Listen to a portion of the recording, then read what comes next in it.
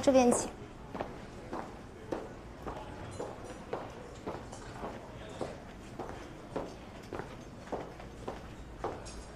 你好，同心厅在这边，谢谢。来，好，咱们来吧。陈超，这是咱们特色菜。谢谢，谢谢。韩律师，哎，我要敬你一杯啊！别别别，坐坐着坐着坐着喝。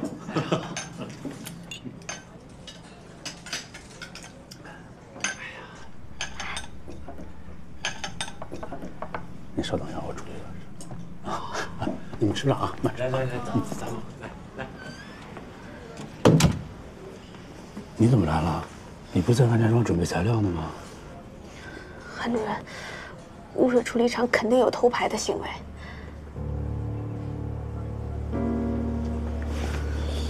你说的这个偷排是他们亲自跟你说的？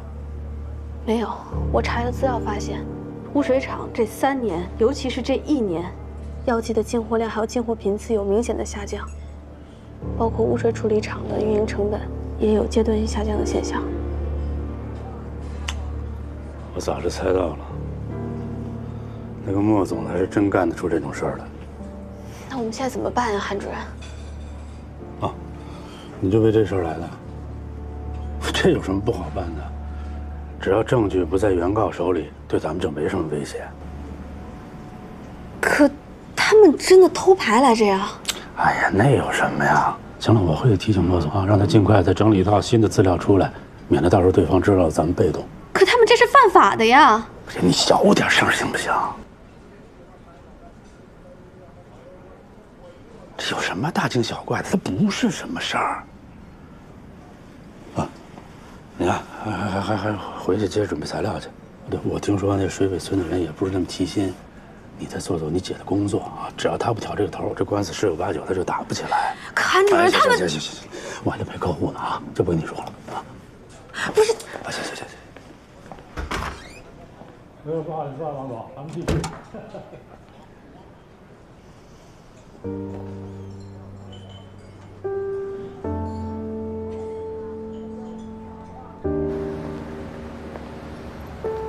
姐，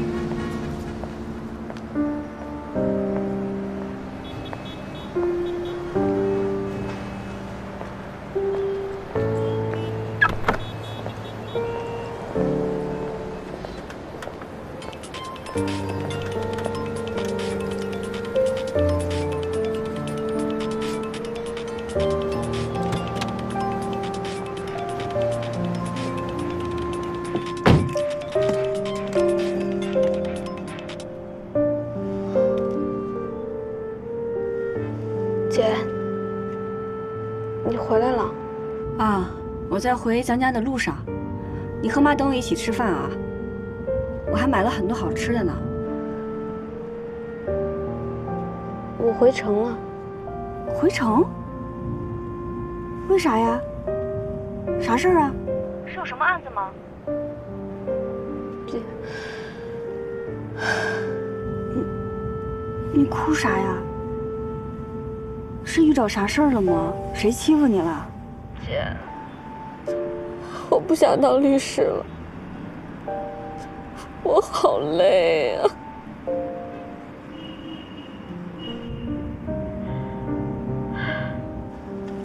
姐，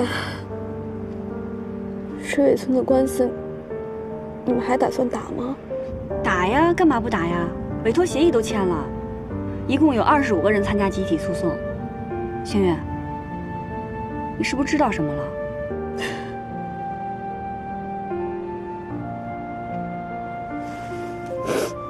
没有。那个姐，我现在这儿有点事儿，我先不跟你说了啊。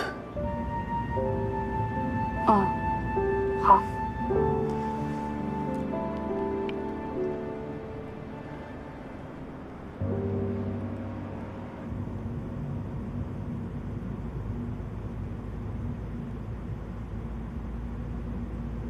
喂，关大哥，刚才我妹哭着给我打电话，说她不想当律师了。以我对我妹的了解，她心里一定是碰到了过不去的坎儿。关大哥，我敢肯定，污水处理厂一定有问题。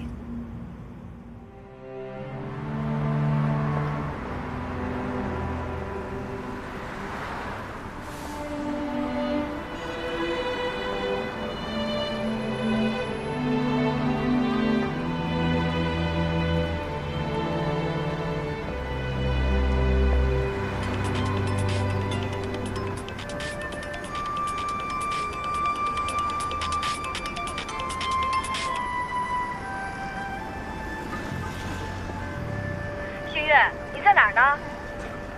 姐，我想好了，律师我还是会做的，而且我会做一个好律师。我想过了，人不能面对问题只是逃避，只有勇敢，才能让自己真正的强大起来。妹子，你能想明白，姐真替你开心。你放心，你干啥，我跟妈都支持你。你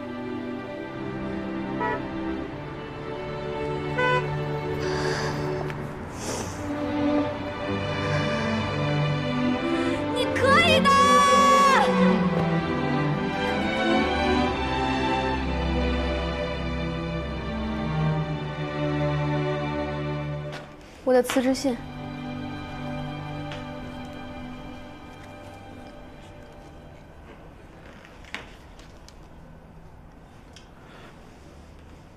小何，你就这么两手空空的就这么走了，啊？以后哪家律所敢收你？你好好想想，你辛辛苦苦走到这一步，你付出多少代价呀？啊？你就这么说放弃就放弃了，值不值啊？就是因为我不想再付出更多的代价了，而且我现在也不是两手空空了。毕竟，人吃饱了，总该有所选择嘛。韩主任，虽然我一直都不喜欢你，但在医道这段时间，我的确是要感谢你。这段经历让我明白了，什么是该放弃的，什么才是该坚持的。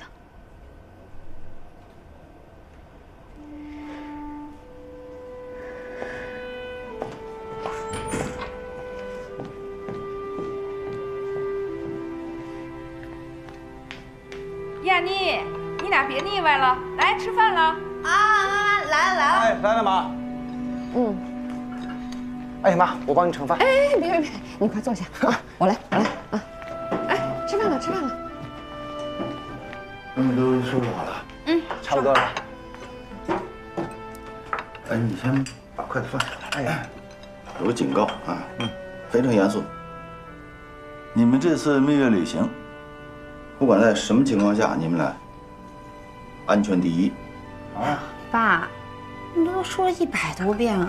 少了一百 一百遍说少了。你爸说多少遍啊，也不为过，是吧？放心吧，爸妈，我们一定会把安全放在第一位的。嗯，来来来来，快，这个哦。谢谢妈。喂，关大哥，爸，你也多吃点。什么事儿啊？哎呀，爸不吃，咬不动。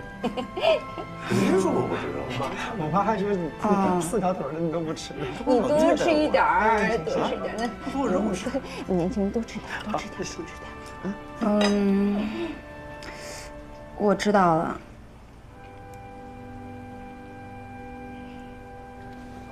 我先跟庆志商量一下。怎么了？出什么事儿了？有大新闻了，嗯什么大新闻啊？就是水尾村村民集体诉万家污水厂违法排污的事儿。这是大新闻，我必须得跟。要不，咱俩蜜月旅行延期一下呢？啊？哎呦，你必须去吗？地球离开你就不转了吗？当然不赚。地球离开雅尼怎么赚？哎呦，那他好辛苦的。嗯，工作还是第一位的。哎，蜜月嘛，蜜月，反正你们俩月月如蜜月。我觉得嗯反正咱们时间还有嘛，以后去也可以啊。嗯，你决定，我听你的。嗯，谢谢老公，真好。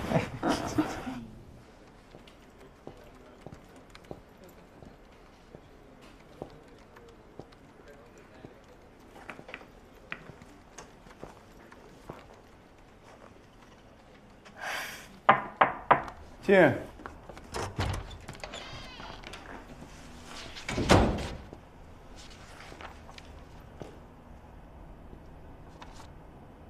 星运，你怎么来了？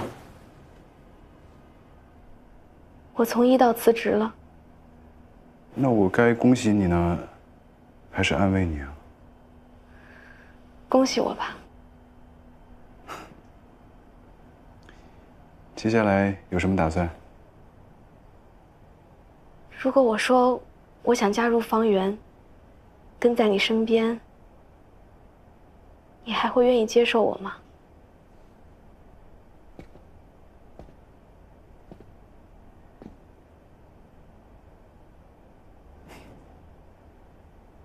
方圆律所，欢迎你的加入，恭喜你。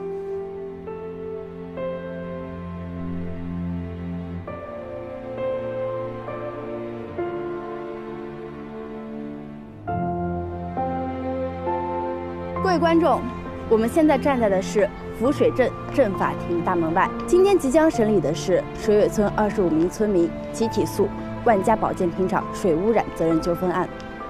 万家保健品厂是我省著名乡镇企业万家集团的下属公司，于二零一二年投产。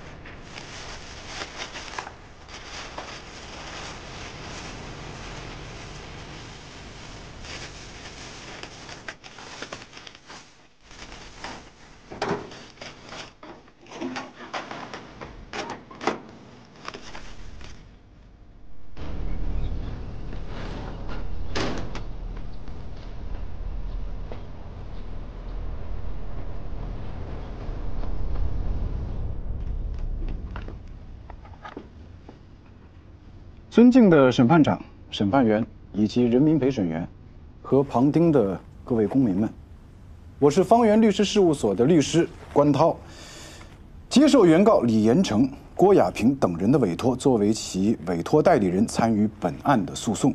庭审前，我们认真核实相关证据，查找法律依据，通过今天的法庭调查，对本案的事实有了清楚的了解。现结合事实和法律发表如下代理意见。原告认为，被告位于浮水河上游，其污水处理厂建在浮水河河边，是周边唯一的排污企业。各原告均位于浮水河下游，且住址均临近浮水河。在案证据显示，被告所排污水的特征污染物和原告井水中的特征污染物一致，由此表明。被告排污行为与井水污染之间必然存在因果关系。万家庄组织全体村民进行了血铅含量检测，在案调查结果表明：一、存在血铅含量超标的村民均饮用或长期饮用院内的井水；二、仅饮用井水的村民血铅含量水平高于同时饮用井水和自来水的村民。由此表明，原告血铅含量超标是由于饮用了受污染的井水。在案证据显示，被告投产于二零一二年，原告虽均常年饮用井水，但恰是在被告投产以后，才频繁发生不适症状。因此，被告排污行为与井水污染以及原告损害之间必然存在因果关系，被告应承担相应的法律责任。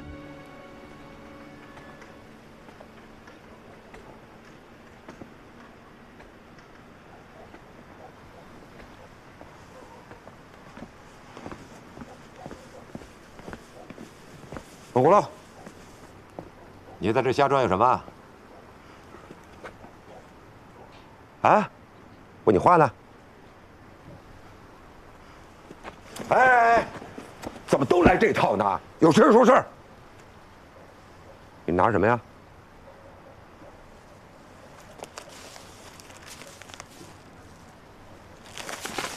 书记，这是污水处理厂废水处理记录本的复印件。哎，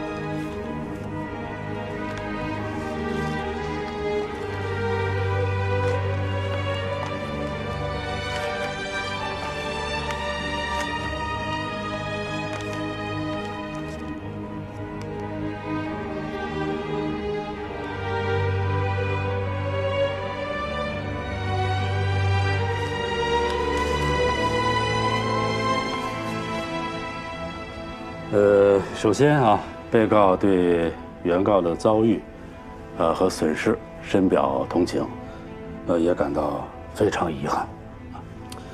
但是，井水污染的原因很可能是多重的，是复杂的。在案证据显示，被告的排污行为与原告井水污染及原告损害之间不具备因果关系。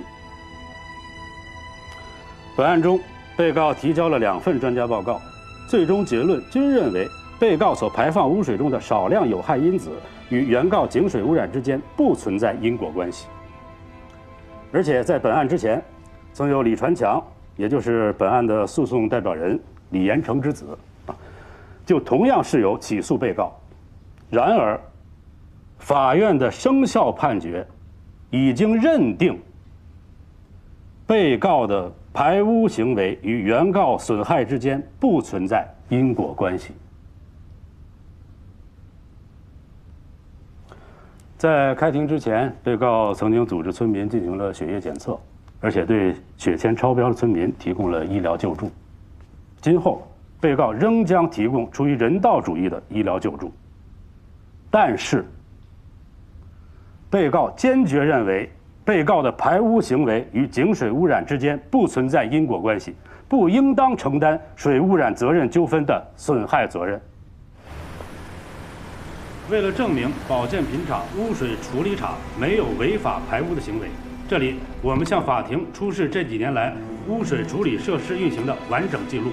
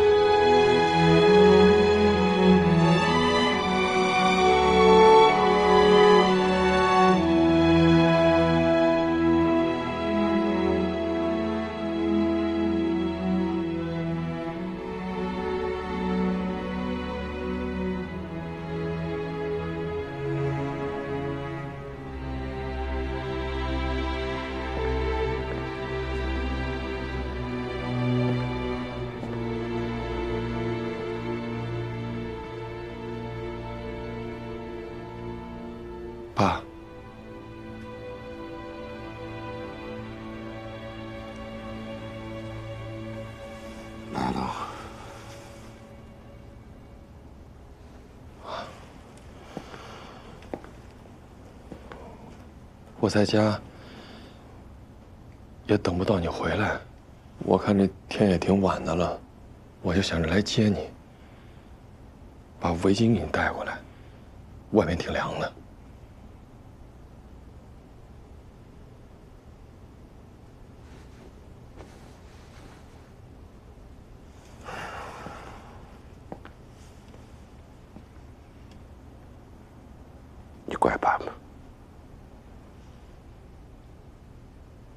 你作为一名老党员，把污水厂偷排污水的证据送到法庭，你这么做我不能怪你。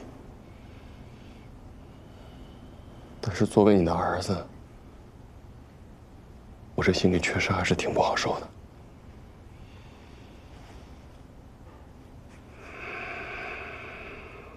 爸，我要说，污水厂偷排的事儿。我一开始真的不知情，你信不信我？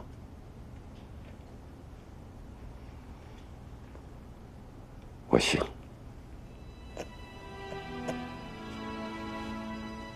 但是你作为保健品厂的法人董事长，你先有失察之责，后来你知道了不说，又有了隐瞒之罪。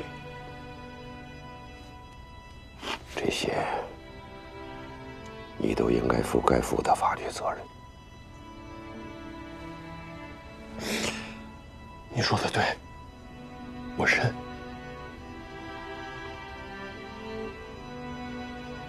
你认，我也认。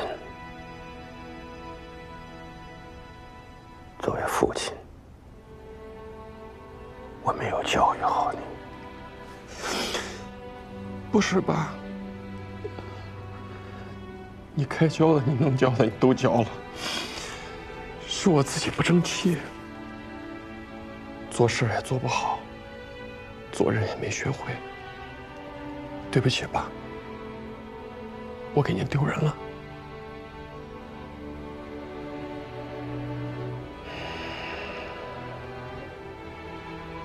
陈家，你本质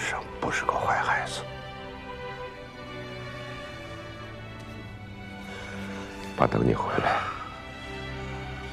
咱一家人好好过日子。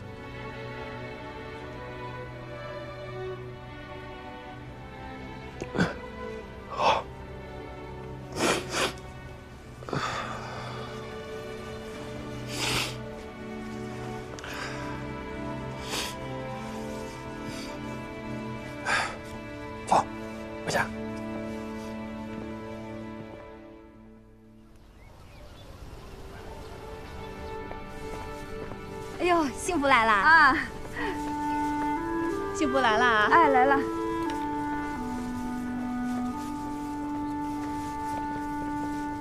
郭姐，哎，在家呢。哎呀，你又给俺送菜来了。哎，顺手带的。今天晚上说啥也不能走了啊？留下来吃饭啊？哎，不了不了，家里人等着我呢。我来是特地来告诉你一个好消息。哎啥好消息啊？法院的判决书下来了，咱们的集体诉讼案胜了，赔偿款很快就会打入你留的账户里，你记得查收啊。哎呀，谢谢你啊，何经理，你可是救了俺们大家的命啊！哪这么夸张？千万别这么说。哎呀，何经理，幸亏你发现的早，还一直坚持找那个污染源，否则的话，俺跟俺儿子不管谁先走，留另一个人孤零零在这个世上，俺可咋活呀？别这么想，咱们好好的活，健康的活，会好的啊。哎，就是，咋又哭上了呢？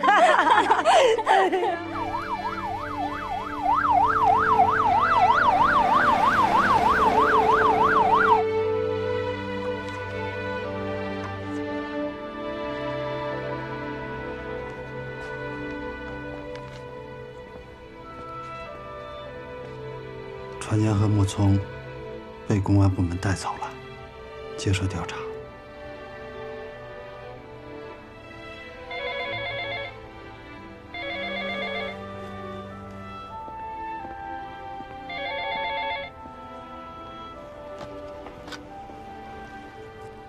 哎，是，我是万善堂。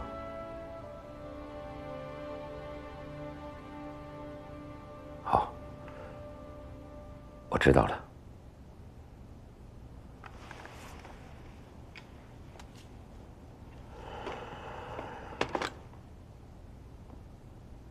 上级领导说，由于污染案件造成了极其恶劣的社会影响。取消了我们参平长福先进村的资格。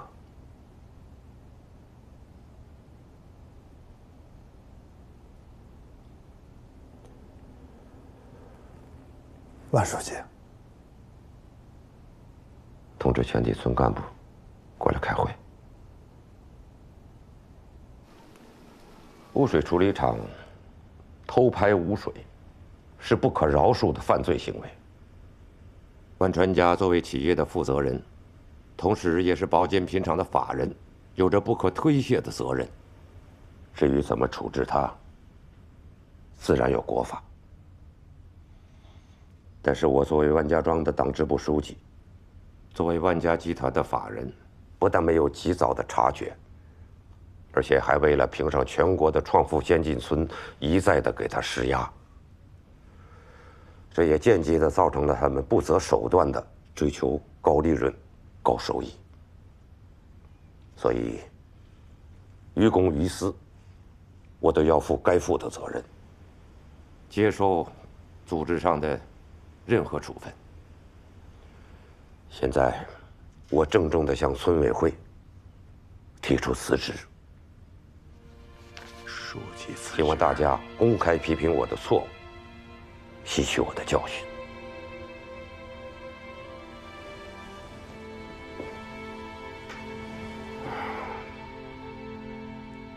我辞职以后，万家庄村的党支部就要有新的带头人。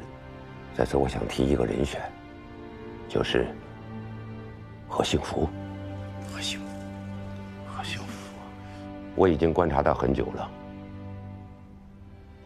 他不但是一个勤劳、善良、正直的人，他更是一个能把百姓的事情都放在自己心里的人。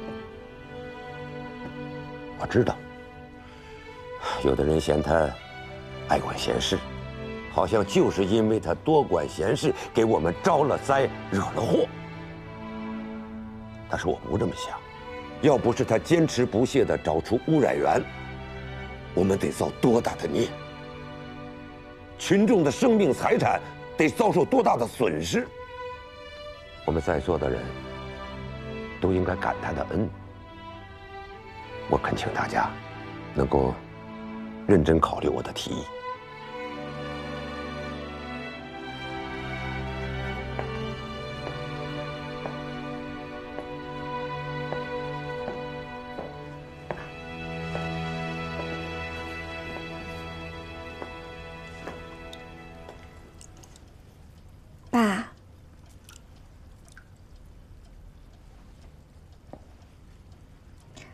我回来了。嗯，好回来就好，你应该也听说了，官司败了，创福村的称号也没有了，我已经辞去了村书记的职务。你爸这辈子是个要脸的人，没想到最后竟然活得这么失败。爸，我听说了，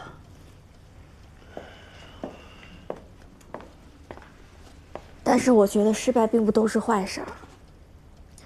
我以前就是害怕面对失败，所以才犯了那么大的错误。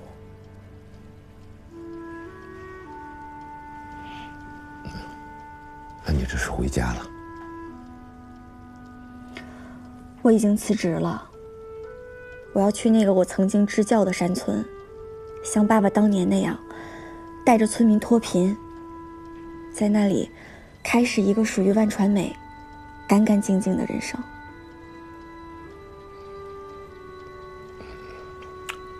这才是爸的好女儿。我这次回来，要跟过去做一个彻底的了断。爸，我希望你能帮我。你说。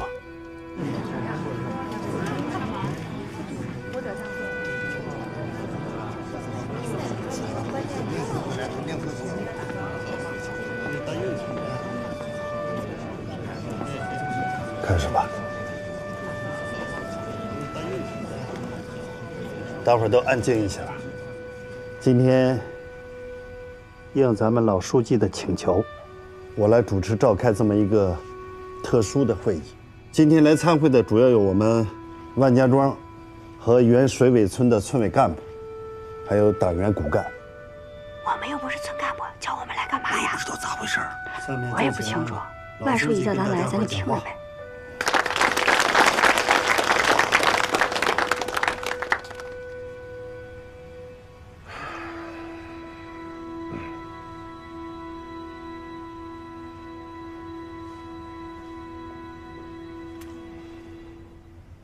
今天，我万产堂是以个人的名义，请大家来。你们可能已经都知道了，我已经正式向万家庄的村委会和村党支部提出了辞职。现在呢，我我代表我自己，还有我的儿子万传家，向因这次污染事件受到伤害的村民道歉。另外，还有一件事情要公布出来。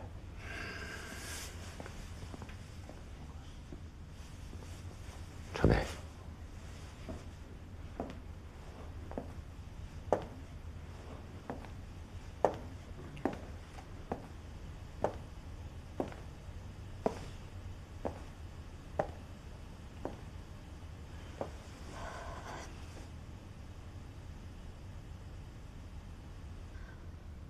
位乡亲，我叫万传美，今天站在这里，我要向一个人公开道歉。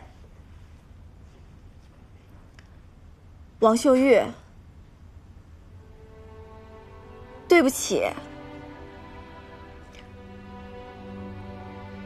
十年前我冒了你的名上大学。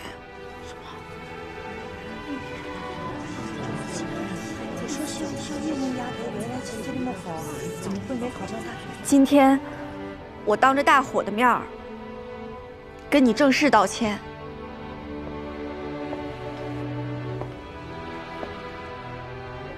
秀玉，对不起。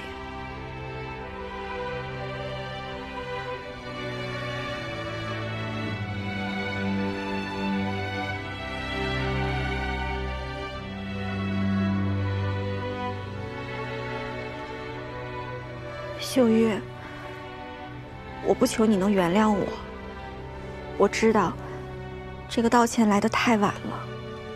但是，我今天终于明白，没有人可以偷走别人的人生，也没有人可以活成别人的样子。我们只能做自己。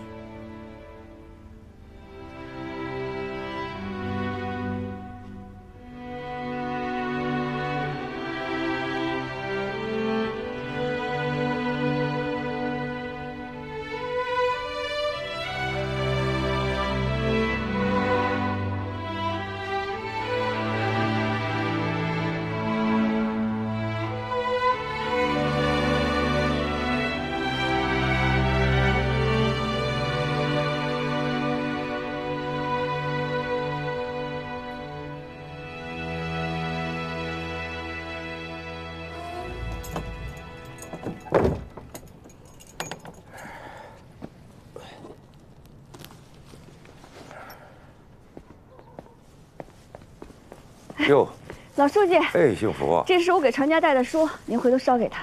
哎呀，真是难为你这么忙，一到探视的日子，哎，你就惦记着。谢回你，谢谢你啊！您回头也替我捎个话，就说让他把刑期当成学期，等他学成归来，大伙接着干。好，好，这话说的可真好。行，我一定把话带给他。他还说了，可喜欢你给他带的书了，是说他自己以前看书啊看不进去。现在怪了，一拿起书来他就放不下。呃，他说他自己这是啊开窍了。他这开窍开的也太晚了。可不，车已经给您安排好了，咱走吧。好，那真是，呃，太麻烦你了啊，幸福。不麻烦。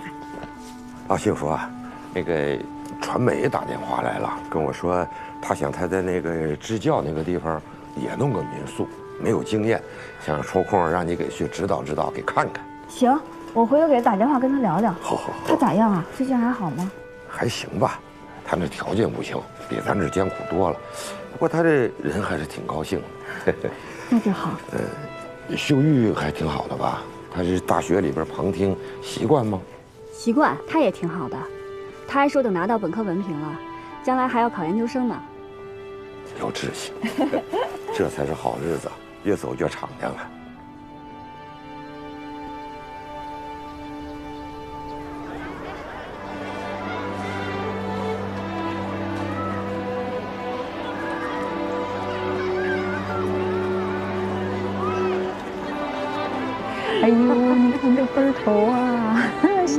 像幸福。亲家，哎，我说你这带小豆子已经够累的了，你就歇歇。小菊花让我来带好不好啊？不用了，你歇着吧。这好带了大了，这拿他妹子亲的呀！可谁把他妹子带走？那把家里还不闹翻天？给我，你问他。小豆子，姥姥把小菊花带走行不行啊？啊，不行，不行，我的妹子，我得带她长大。哦，你带他长大呀？那好，那好啊，你的妹妹姥姥不带走啊。嗯，给姥姥说，说我们以后啊会经常带着小菊花去看姥姥的。对对。哎，大哥，你那个有机蔬菜合作社效益怎么样？好啊，特别好，现在超市都供不应求的。这么棒！哎，大哥，刚刚还看小菊花，特别可爱啊。可爱吧？嗯。哎，你们俩什么时候呀？什么时候让我当这个大白呀？青志，你得抓点紧，别每天忙，多陪陪那雅雅，知道吗？是是是是。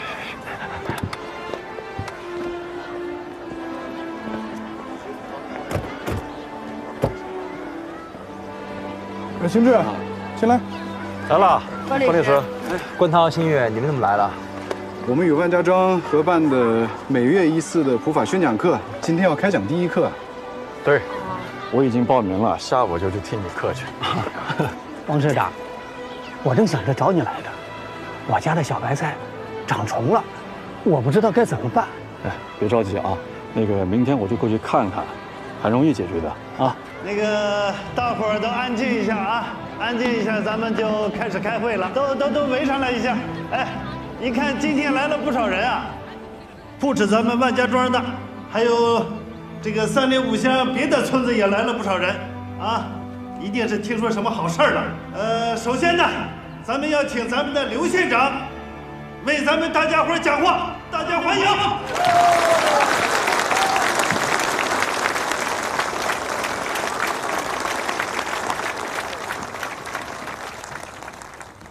万家庄的父老乡亲们。我是刘兆峰，大家都知道，最近啊，我们万家庄获得了一个大大的荣誉。这个荣誉啊，不仅仅说明我们万家庄在扶贫奔小康建设方面获得了好的成绩，还说明我们万家庄在乡村精神文明建设方面和乡村法治建设方面都做出了好的成绩。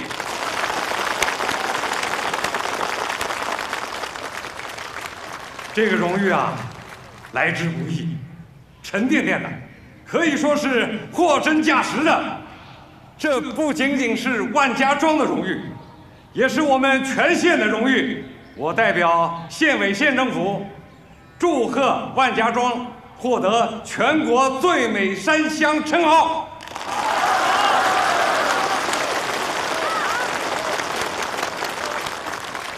我呢，就不多说了。下面，我请万家庄新任党支部书记上台给大家讲话，大家欢迎。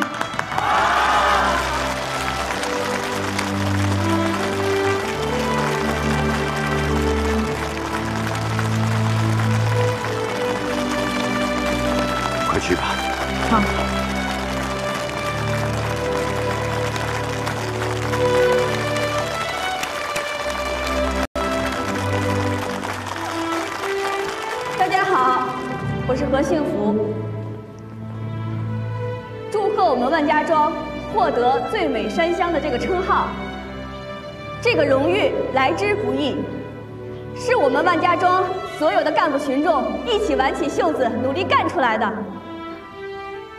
但是我要提醒大家，这个荣誉只代表昨天。今天我们开完庆功会之后，就要把这个荣誉放下。然后整装再出发，去创造新的辉煌，去创造更美好的明天，好不好？好。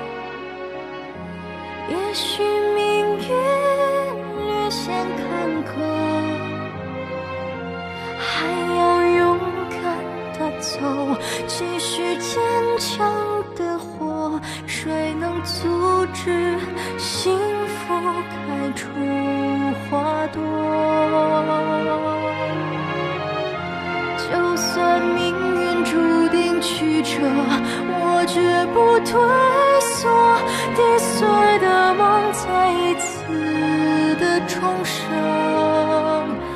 不登高山不知天之高。不临深渊怎知地之厚？